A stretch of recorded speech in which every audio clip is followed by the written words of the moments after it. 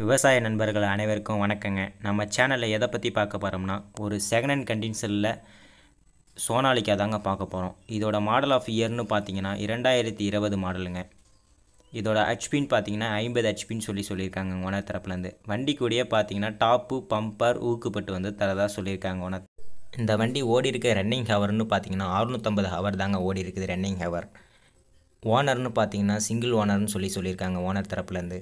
இந்த வண்டியோட ஸ்டேரிங்னு பார்த்தீங்கன்னா நார்மல் ஸ்டேரிங் இல்லைங்க. Power steering plus oil brake அப்படின்னு சொல்லி சொல்லியிருக்காங்கங்க.